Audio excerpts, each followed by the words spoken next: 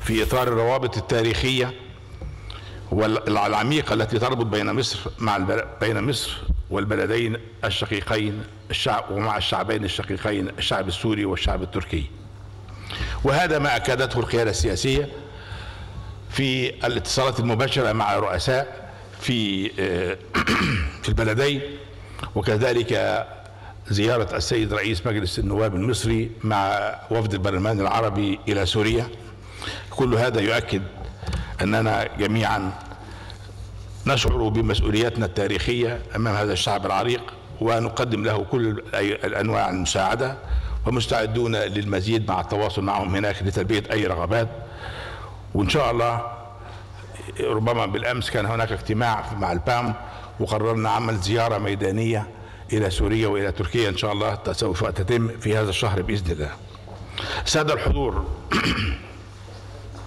نعرف جميعا أننا أمام تحديات كبيرة. نعرف أن أمام عالم مضطرب ومشاكل غير مسبوقة تتعدد فيها المآسي. ونرى النزاعات المسلحة والأزمات الاقتصادية والصحية والبيئية وأزمات الغذاء والطاقة.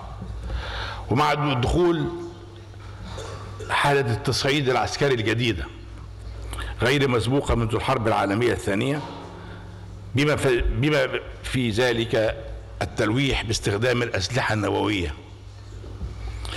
يواكب ذلك تداعيات التحولات الهيكلية التي تعيد تشكيل العالم وتفرض الكثير من الأعباء والتكاليف تحول في الطاقة والارتداد عن العولمة وإعداد تشكيل سلاسل الإمداد نحو الإقليمية والوطنية. والسعي لتحقيق الاستقلال في الغذاء والدواء والطاقة ومدخلات الإنتاج ليصبح الأمن قبل التكلفة وأدى ذلك إلى مزيد من الإجراءات الحمائية في الاقتصادات المتقدمة وتشاذم وانقسام الاقتصاد العالمي وزيادة أوجاع الدول النامية من عبء الديون وارتفاع تكلفة التمويل. كما يدخل الشرق الأوسط اليوم مرحلة جديدة وفيها محاور وأطر جديدة للتعاون السياسي والاقتصادي والصناعي وهناك قوى كبرى جديدة يزداد حضورها في المنطقة لتملأ الفراغات التي تركتها القوى الكبرى القديمة.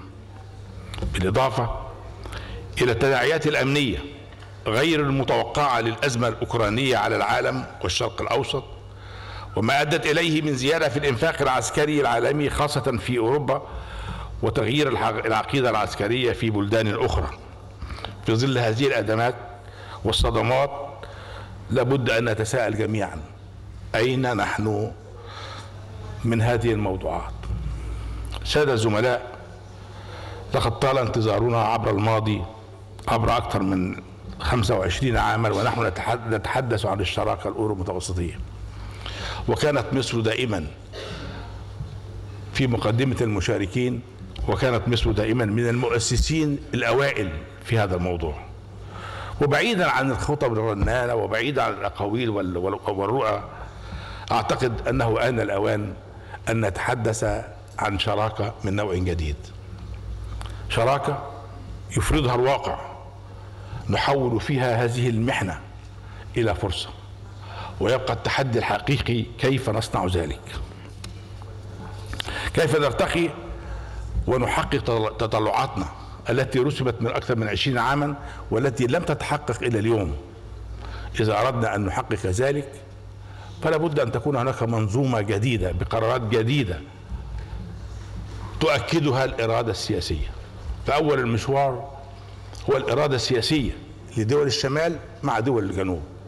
هل نحن حريصون بين المجموعتين أن نقوم بهذه المهمة السريعة أم أن الشمال انشغل في الآونة الأخيرة بمشغوليات تخصه في دول الشمال وأصبحت دول الجنوب ربما حادث استثنائي لم يحظى به بما تم الاتفاق عليه.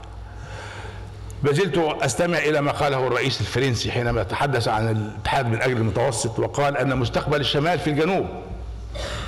ولكن أين هذا؟ لابد هذا أن يترجم إلى مبادرات جديدة.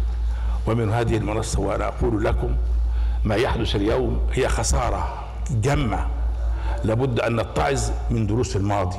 لابد أن نتعظ من الدروس التي حدثت في هذه الآونة الأخيرة في نقص الغذاء والطاقة والدواء. لابد أن نعرف أن هناك قوى وهناك قدرات وثروات طبيعية في جنوب المتوسط آن الأوان لاستثمارها. لابد أن نعرف أن القارة الشابة القارة الإفريقية الكبيرة والتي تحظى بشبابية أبنائها يمكن أن تقوم بدور جديد للدوله للقارة آه، العجوز قارة أوروبا. لابد أن نعرف أننا محتاجين إلى منظومة جديدة من الأعمال. حينما قامت الصين بمشروعها الحزام والطريق أقامت له منظمة كبرى لهذا الموضوع واتفقت مع كل الدول ورصدت لها إمكانيات مالية كبيرة وصلت إلى تريليون دولار. فهل نحن مستعدون أن نقيم الوضع وأن نقيم منظمة جديدة للتعاون ترسم رؤى المستقبل للتعاون الأورو المتوسطي من جديد في إطار شراكة جديدة في إطار تعظيم الموارد الطبيعية في إطار القيمة المضافة التي يتمتع بها الجميع. هل نحن مستعدون الآن أن يكون لنا رؤى جديدة تبث تطابق طموحات المستقبل؟ هل نحن مستعدون الآن بين دول الشمال والجنوب أن نقدم أفكارا غير تقليدية؟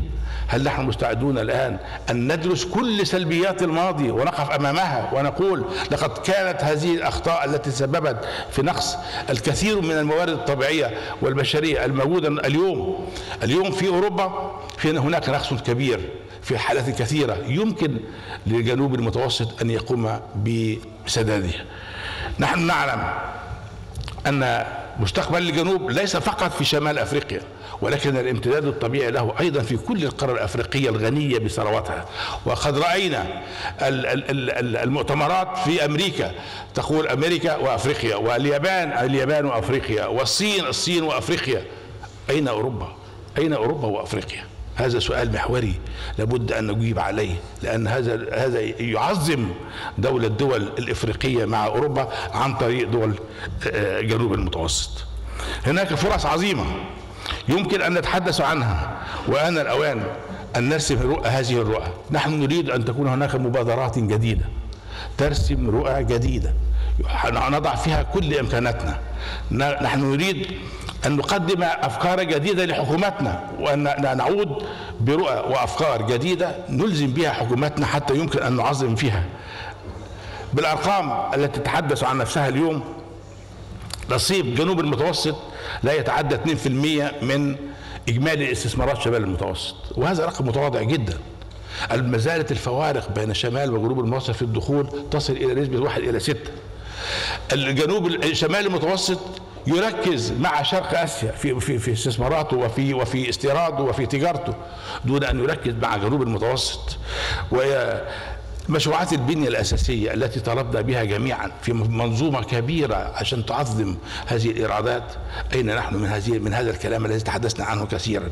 إن منظومة البنية الأساسية لدول شمال المتوسط مع الفكر الجديد يمكن أن يحقق الكثير خصوصا في موضوع الطاقة التي تفتقدها أوروبا. ولقد كانت مصر سباقة في هذا المجال حينما عملت منظمة الطاقة في شرق المتوسط.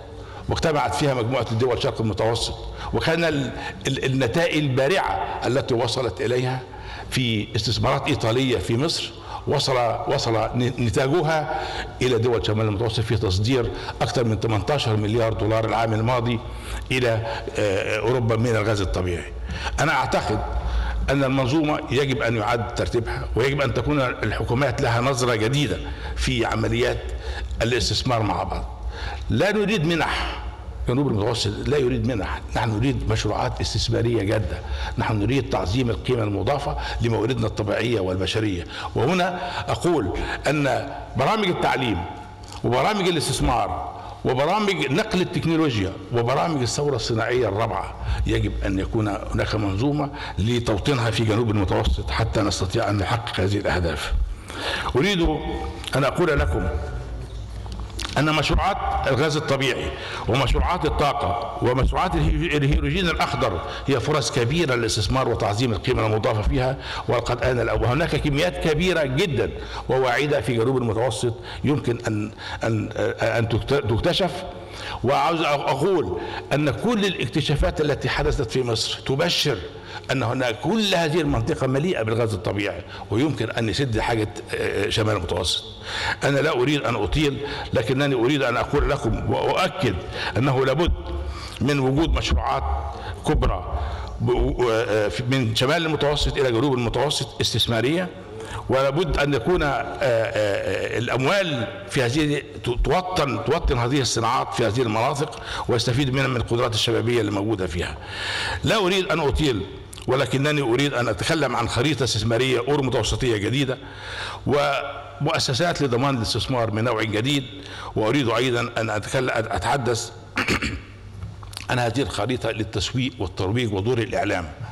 حقيقة إحنا بنعتمد في كل مرة على دور الإعلام دور في الاجتماعات والتصريحات السياسية ولكن لا المفروض أن تكون هناك منظومة تسويقية وترويجية لكل هذه البرامج عبر الشمال والجنوب حتى يمكن أن نسوق هذه المشروعات المتاحة.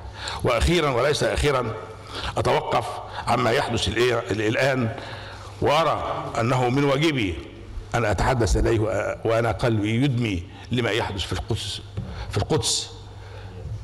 ثالث الحرمين قبلة المسلمين والمسيحيين.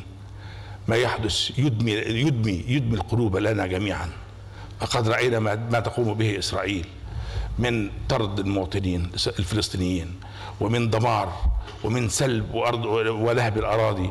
ونقول لهم ليس هذا آه، مفتاح السلام في المنطقة. القضية الفلسطينية سوف ما زالت وسوف تكون وسوف تظل هي بؤرة النزاع الحقيقية. ويجب أن تحتل المرتبة الأولى ويجب على أوروبا وعلى العالم كله وعلى الأمم المتحدة بجميع منظماته أن يعي هذه المسألة وأن يعاملها. رأينا ما يح... عندما قامت الحرب في أوكرانيا العالم كله تجمع ومئات المليارات ذهبت للدمار والسلاح والس... نحن نقول أيضا المشكلة الفلسطينية لابد أن تحظى بهذا الاهتمام. لابد أن نعي تماما أن الشعب الفلسطيني الأعزل يقف يتطلع يريد السلام واجتمع العالم كله ووافق على وجود دولتين. وإسرائيل ترفض حل الدولة وحل دولتين. ماذا تريد؟ وأين الحل؟ وأين المسار؟ وماذا نقول لهم؟ وماذا نطالب منهم؟ وماذا نطالب من المجتمع الدولي أن يفعل؟ ها أنتم اليوم ممثلين هذه الشعوب. هذه مسؤولية أحملكم مسؤولياتكم في بلادكم وأن تقولوا هذه مقولة قالها البام عشرات بل مئات المرات في اجتماعات المتتالية. أقول لكم أن هذا النزاع هو هو النزاع سوف يبقى إلى الأبد ما لم تحل هذه القضية الفلسطينية. وخل آن الأوان. كفى دمار. كفى ماذا أقول؟ أنتم تعرفون ماذا يحدث في هذه البلاد. ماذا يحدث في هذه البلاد؟ ورغم الإرادة الفلسطينية والشعب الفلسطيني الأعزل إنه يقف بكل بطولة وبكل جسارة أمام كل هذه التهديدات وأنا باسمكم جميعا أريد أن أحيي الشعب الفلسطيني العظيم الذي وقف أمام كل هذه المسؤوليات جميعا. لقد آن الأوان أن نجد حلا لهذه الموضوعات. وأن تكون لنا وقفة جادة وأن تكون لنا وقفة أمام العالم كله وأطالب الأمم المتحدة أيضا باسمكم جميعا أن تحل هذه الموضوعات. كفى. هناك 138 دولة اعترفت بفلسطين. نريد أن تكون عضوا عاملا في الأمم المتحدة. لما لا؟ ولماذا يتأخر حتى الآن؟ لقد كان منذ أسبوعين في القاهرة حديثا للملوك ورؤساء العرب. الرئيس عبد الفتاح السيسي قال كلمته الملك الأردن قال كلمته وأبو مازن رئيس فلسطين قال كلمته نريد السلام. نريد من يضع إيدينا في ايديه للسلام. وهذه المطالب المشروعة الحقيقية للشعب الفلسطيني. أما ان الاوان أن يعي الجميع مسؤولياته وأن يضع حلا لهذه الموضوع أنا أرجو باسمهم جميعا ألا يكون هذا نهاية المطاف والا والا وأن نرى هذه الموضوعات تحل في القريب العاجل. أشكركم والسلام عليكم ورحمة الله.